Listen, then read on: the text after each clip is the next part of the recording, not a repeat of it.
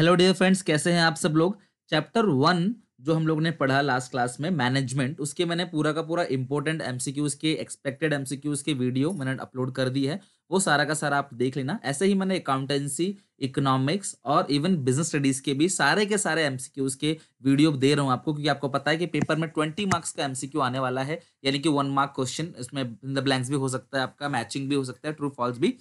तो अभी second chapter के जितने भी सिंगल मार्क के क्वेश्चन हैं एमसीक्यूज वो हम डिस्कस कर लेते हैं। वीडियो पॉज करके आप आंसर दे सकते हो अपना, फिर चेक कर लेना कि आपका आंसर मेरे से मैच करता है कि नहीं, ठीक है? तो सेकंड चैप्टर हम स्टार्ट करते हैं वीडियो अपना पहला question the technique of differential piece wage rate system was develop by Taylor in order to आपको पता होगा टेलर की टेक्निक्स में एक टेक्निक आता है differential piece wage rate system इस सिस्टम के अंदर हम क्या करते हैं?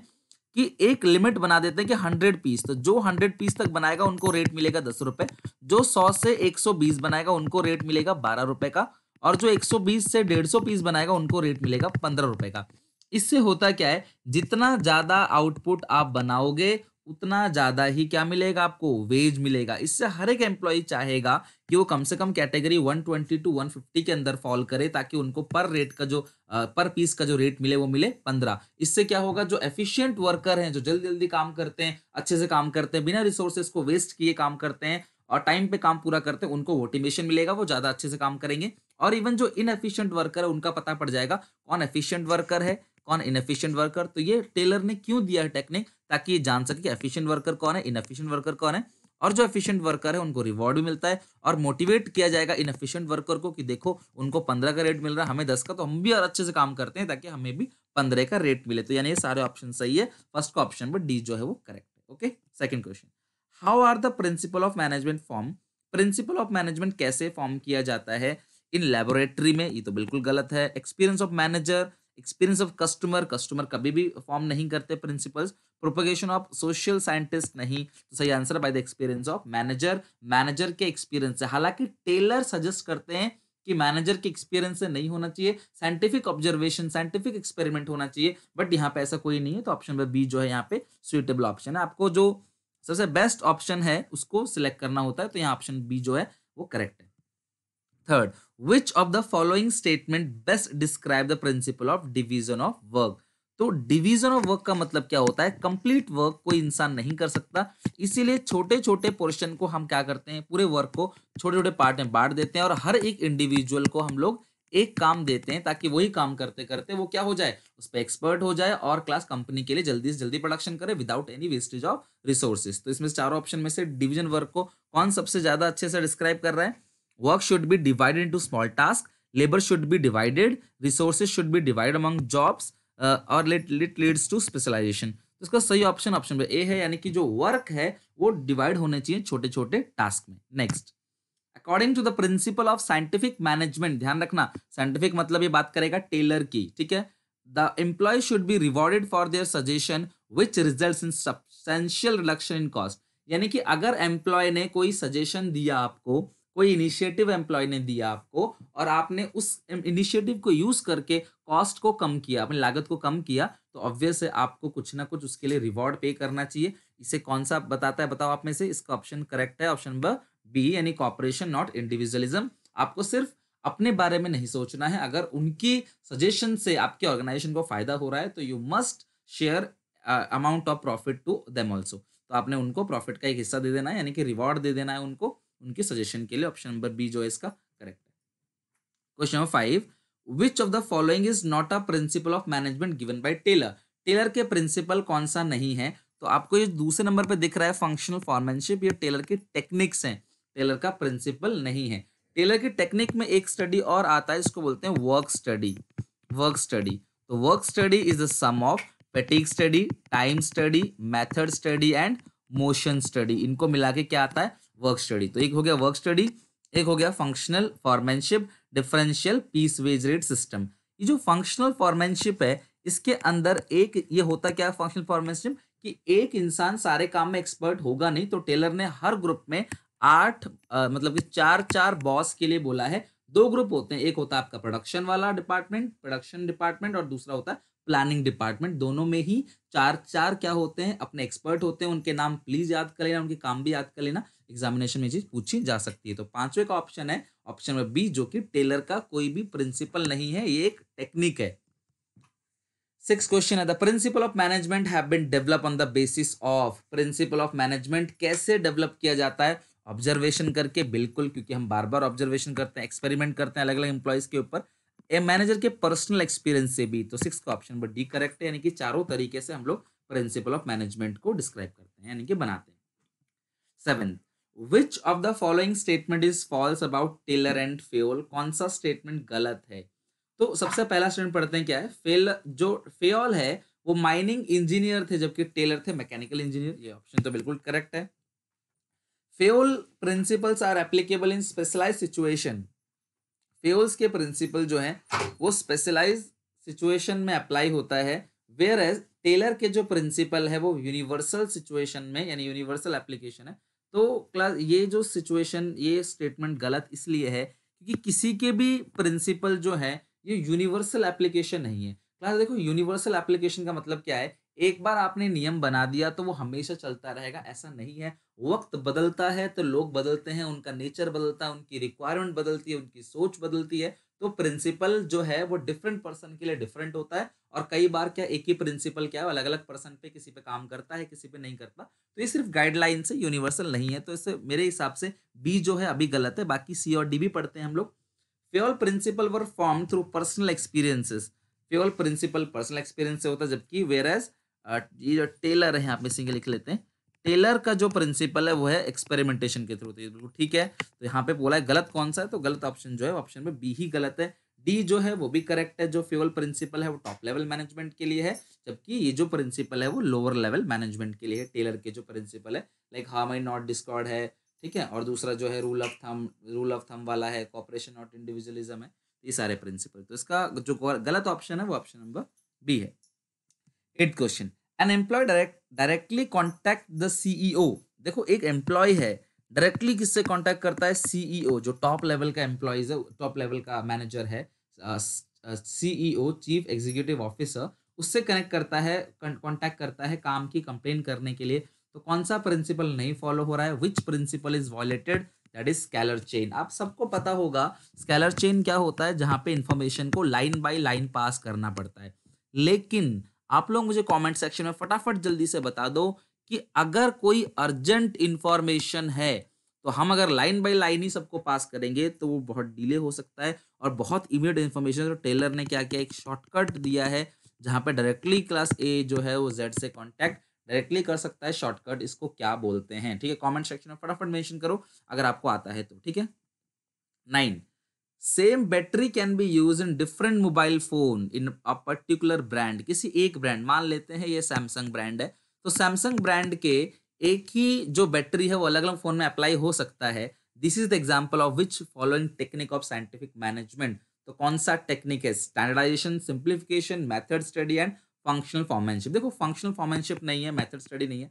यह है स्टैंडर्डाइजेशन मतलब एक स्टैंडर्ड प्रोडक्ट बनाओ जो हर किसी के लिए अप्लाई हो जाए। जैसे क्लास नॉर्मली क्या होती है, अगर आप मार्केट में कोई टी शर्ट खरीदते हो नॉर्मली तो ये टी शर्ट जो है, ये हर किसी के ऑन एन एवरेज जो है, हर किसी के साइज़ के लिए एप्लीकेबल है। तो इसीलिए इसको बोलते हैं स्टैंडर्ड प्रोडक्ट है, यानी कि नॉर्मली हर जगह इसको यूज़ किया जा सकता है ओके तो इसका सही ऑप्शन है option number A tenth question which of the following statement is true with reference to principle of management कौन सा ट्रू है? तो principle management are yet to be evolve are have evolve principle of management are continuous process of evolution तो C option correct है। जो principal of management है, वो continuous process है एवोल्यूशन का। यानी कि टाइम टू टाइम प्रिंसिपल्स जो है, वो बदलते रहते हैं, बनते रहते हैं।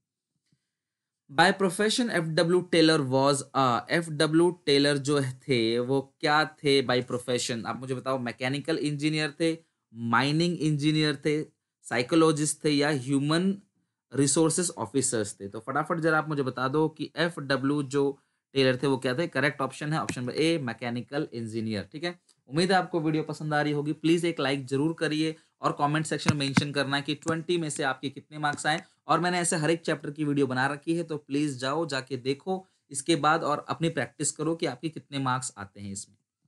Question number twelve management should find one best way to perform a task management को फाइंड करना है एक एक बेस्ट वे जो काम को करना है। Which technique of scientific management is defined in the sentence देखो बेस्ट वे यानी कि मैनेजर को अलग अलग मेथड से प्रोडक्शन करके देखना है, और जो मेथड सबसे बेस्ट होगा, उसी मेथड को सिलेक्ट करना है that is method study question number twelve का ऑप्शन नंबर डी जो है वो करेक्ट है। Next the principle of management do not provide readymade straitjacket solution to all the management problem because यानी कि प्रिंसिपल ऑफ़ मैनेजमेंट जो है, एक स्ट्रेट जैकेट सॉल्यूशन नहीं है हर प्रॉब्लम के लिए वो चेंज होता रहता है। बिकॉज़ प्रिंसिपल ऑफ़ मैनेजमेंट क्या है? क्लास कॉम्प्लेक्स है, उलझा हुआ है डायनामिक है, यानी चेंज होता रहता है सिचुएशन के अकॉर्डिंग और प्रिंसिपल एक जनरल गाइडलाइन है। यानी ये तीनों ऑप्शन करेक्ट है इस स्टेटमेंट के लिए, यानी कि थर्टीन क्वेश्चन का ऑप्शन नंबर डी जो है वो करेक्ट है ओके अगर आप पहले आंसर देना चाहते हैं पढ़ के आराम से तो वीडियो प्लीज़ पॉज करके आंसर दे सकते हैं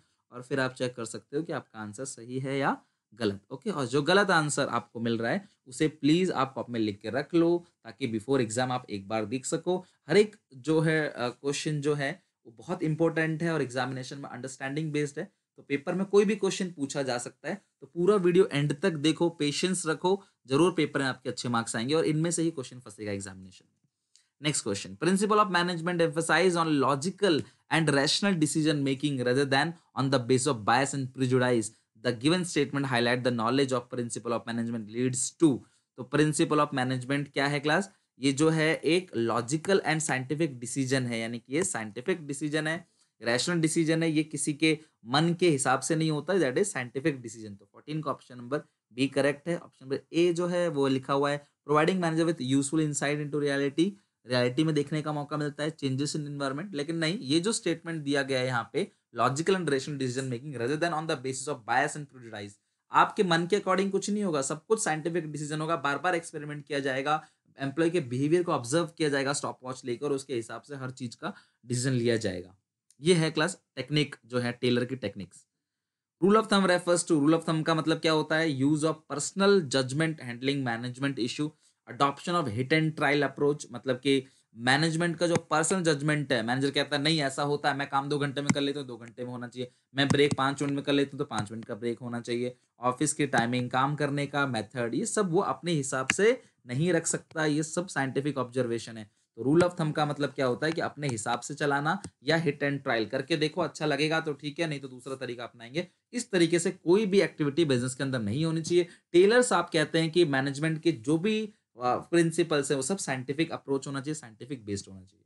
Next considering the fact that it is difficult to find one single person with all need qualities एक ही पर्सन क्लास हर चीज़ में एक्सपर्ट नहीं हो सकता तो टेलर ने अपॉइंट किया है स्पेशलिस्ट को through this technique scientific of management and technique आपको पता होना चाहिए फंक्शनल फॉर्मेनशिप में चार चार बॉस यानी कि चार चार एक्सपर्ट को टेलर ने बोला है सजेस्ट किया है रखने के लिए चार प्रोडक्शन डिपार्टमेंट में और चार प्लानिंग डिपार्टमेंट में। तो इसका ऑप्शन नंबर सी जो है वो करेक्ट है। Seventeen question principle of management are not principle of management क्या नहीं है? यूनिवर्सल नहीं है फ्लेक्सिबल नहीं है एब्सोल्यूट सही है एब्सोल्यूट यानी कि एब्सोल्यूट ट्रू नहीं है, ये डिपेंड करेगा, ये सिर्फ़ गाइडलाइंस है। तो it is not absolute eighteen question the objective of this technique of scientific management तो ऑब्वियस है, किसी ना किसी टेक्निक की बात करेगा मैनेजमेंट की जो टेक्निक है to reduce a given line और a product to fixed type size and characteristics हमारा प्रोडक्ट फिक्स होना मतलब साइज़ उनका एक जैसा होना चाहिए फिक्स टाइप होना चाहिए तो वो चीज़ किसके अंदर बताता है? मेथड डिफरेंशियल स्टैंडर्डाइजेशन और फंक्शनल फॉर्मेनशिप इसका जो सही ऑप्शन है, वो ऑप्शन नंबर सी है standardization and simplification of work यानी कि प्रोडक्ट का स्टैंडर्ड बनाना चाहिए। जैसे मान लो, आता ना ब्रुक बॉन्ड का red level yellow level green level तो इस तरीके से हम लोग स्टैंडाइज कर देते हैं और सिंप्लीफाई जैसे आपने देखा होगा राशन की दुकान पे जाते हो तो छोटे छोटे बॉल में उन्होंने चावल के दाने रखे होते हैं अलग अलग रेट होता है उनका, किसी का पचास रुपये किसी का सौ रुपये तो ये क्या होता है, एक तरीके से ग्रेडिंग कर देता है स्टैंडर्डाइजेशन एंड ग्रेडिंग तो यानी कि इसका ऑप्शन सी जो है वो करेक्ट है। नाइनटीन क्वेश्चन आई होप कि आपका अच्छे से रिविजन हो रहा होगा। ज़रूर प्लीज़ एक बार लाइक ज़रूर करें वीडियो को और शेयर करना अपने दोस्तों के साथ, अगर आपको थोड़ा भी अच्छा लग रहा है। और मिलकर रिवीजन करो। हर एक टॉपिक का वीडियो मैंने बना रखा है। देखो और आप देखो जज करो खुद को कितने मार्क्स आपके आते हैं। चलो जरा पढ़ के देखो नाइन क्वेश्चन क्या लिखा हुआ है। The principle of management Henry Fayol guide the managers to exhibit exemplary behaviour and and advise that they should not fall into temptation of misuse their power for personal benefit at cost and general interest of the desired in the above statement. यानी कि जो managers है, वो अपने फ़ायदे के लिए बिल्कुल भी बिज़नेस के किसी एक्टिविटी का यूज़ ना करें। जैसे मैं आपको एग्जांपल देता हूँ। मान लो ए है ए का भाई सी है और सी ब्रिक्स बनाता है। क्या बनाता है? ब्रिक्स अब ए किसी कंपनी में काम करता है जिसका नाम है जेपी, ठीक है? JP group. ये इंफ्रास्ट्रक्चर कंपनी है, जेपी ग्रुप। यहाँ पे काम करता है। जेपी ग्रुप ने ए से बोला कि बिल्डिंग बनानी है तो ए ने बोला, ठीक है, हम जो ब्रिक्स खरीदेंगे, वो बी से खरीदेंगे। जबकि बी महँगा दे रहा है, लेकिन ये उसका दोस्त है, भाई है तो ये इसी से ब्रिक्स खरीदता है। यानी कि अपने फ़ायदे के लिए ऑर्गेनाइजेशन का नुकसान करा रहा है। इसका ऑप्शन सी होगा subordination of individual interest to general interest हमें अपने फ़ायदे के लिए नहीं सोचना, हमें ऑर्गेनाइजेशन के फ़ायदे के लिए सोचना है। बी से अगर हम ब्रिक्स खरीदते हैं तो ये ए का फ़ायदा और बी का फ़ायदा होगा, लेकिन ये ऑर्गेनाइजेशन का लॉस होगा। इसीलिए इसे बी से सामान नहीं खरीदना चाहिए, इसे ब्रिक्स उससे खरीदना चाहिए जो उसको कम कॉस्ट में अच्छी ब्रिक्स दे। ओके तो इसका ऑप्शन बस ही है। अब लास्ट क्वेश्चन इसके साथ वीडियो को एंड करेंगे और अगले, मैं कल आपके लिए एक और वीडियो लेके आऊँगा इसी तरीके से चैप्टर नंबर थर्ड की। आप उस वीडियो को पूरा का पूरा देखना और आप बताना कमेंट सेक्शन में अभी मुझे कि आउट ऑफ़ ट्वेंटी आपके कितने मार्क्स आए। प्लीज़ बिना सब्सक्राइब करे, बिना हिट लाइक किए, प्लीज़ मत जाना और कमेंट सेक्शन में बताना ताकि मैं आप लोगों के साथ और जुड़ा रहूँ और ऐसी वीडियो बनाता रहूँ। तो अपना लास्ट क्वेश्चन है, इसके साथ खत्म करेंगे। Which principle of general management advocates that employee turnover should be minimize कौन सा प्रिंसिपल बताता है फेओल का कि एम्प्लॉयज़ जो है, छोड़ के नहीं जाने चाहिए ऑर्गेनाइजेशन में, कम से कम एम्प्लॉयज़ जाने चाहिए? एक एम्प्लॉय आता है ऑर्गेनाइजेशन में कंपनी काफ़ी खर्चा करती है, उसकी ट्रेनिंग पे, उसके डेवलपमेंट पे, और वो स्टेबल होता है और फिर वो छोड़ के चला जाता है। कंपनी को ऐसे काफ़ी नुकसान होगा बार बार एम्प्लॉय आएँगे, छोड़ के चले जाएँगे। तो फ्रीक्वेंट ट्रांसफ़र और फ्रीक्वेंट टर्मिनेशन से कंपनी को बचना चाहिए। तो ये क्या कहता है? स्टेबिलिटी ऑफ़ पर्सनल यानी कि आपको एम्प्लॉय की स्टेबिलिटी रखनी चाहिए। एम्प्लॉय जल्दी जल्दी छोड़ के ना जाए, ठीक है? आई होप कि आपको पसंद आया होगा। नेक्स्ट वीडियो में मिलते हैं हम लोग कंटिन्यू करेंगे। थैंक यू सब्सक्राइब करना चैनल को ऐसी और वीडियो पाने के लिए।